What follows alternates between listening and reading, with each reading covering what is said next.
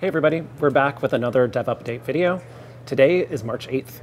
My name is Jeremy, aka Riot Brightmoon. And I'm Andre, also known as Meddler.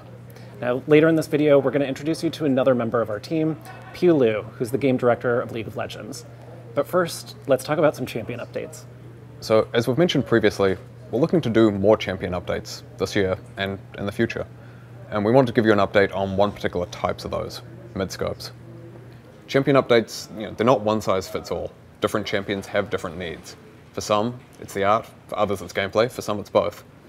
And mid-scopes are a focus on you know, gameplay in particular. Champions where we think we have a lot of opportunity, or a lot of problems to fix.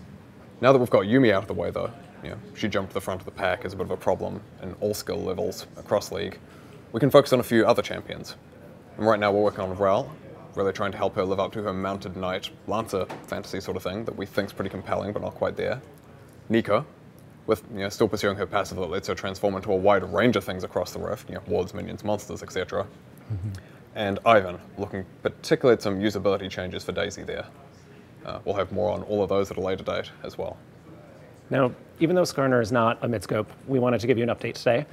Uh, Skarner has been taking us a while because, let's face it, he has a lot of challenges the Brackern, you know, the crystals, the scorpion of it all, you know, none of these are super clear. None of these are really that compelling for players. So we've been asking ourselves a lot, what do we want to keep or change from his kit? It's definitely the spires. Keep the spires. Everyone loves them. It's not the spires.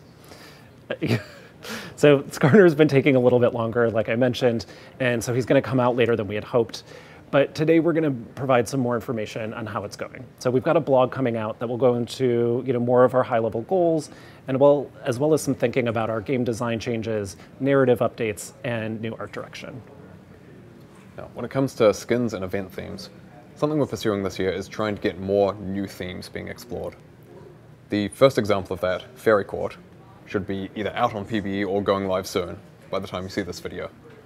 We've also got a couple of new themes though we're exploring for larger events coming in the moderate future. One of those will be MSI in May, and the other will be the largest summer event in the middle of the year. In addition to exploring new themes, we're also making some skins for champions who just haven't got some in a while and need a bit of love. Udyr, Shyvana, and Mundo are the new three to call out there. And finally, skin-wise, we actually want to call back to the Wild Rift skin transition thing we talked about last time. It's looking like we should be able to get the first set of skins over from Wild Rift sometime around July at a rough guess. In addition to Star Guardian Seraphine, who we mentioned previously, we're also looking to bring over Star Guardian Senna and Star Guardian Orianna. Redeem Xayah and Rakan will then follow in a later batch later in the year. So something we've seen you ask a lot about lately is the Blue Essence Emporium. So I wanted to give you a quick update on that. Last year, we announced that we were going to take it down do some technical work on it before being able to bring it back to you all. So we've been working on that. We've revamped the tech that supports it, and we're aiming to bring it back this summer. That's not a guaranteed timeline, but it's looking very likely. That version that you see this summer will be pretty similar to how it was before, even though it's going to be functioning a lot differently under the hood, so that we can make some cool changes to it in the future. And now we'd like to introduce Pu, who we mentioned earlier, who's going to talk about some of the longer term investments and decisions we're making for League. Hey all, I'm Pu, aka Pupulasers, and I'm League's game director. My role on the team is to help us understand and serve League's diverse audiences. Whether you're a master level ranked player, which I am not, an ARAM main, or someone who's just excited to play your favorite champions in different ways in League of Legends. What y'all want from League changes over time, and as the team on working on League of Legends, we need to learn with you and change with you in order to give you guys the best experience possible. As Kozik says, change is good. So an example of change coming up is quick play. Blind pick is the least popular queue in League of Legends, and it's actually getting worse over time. We want to evolve that into quick play in order to give you guys what you want about blind pick in a better way.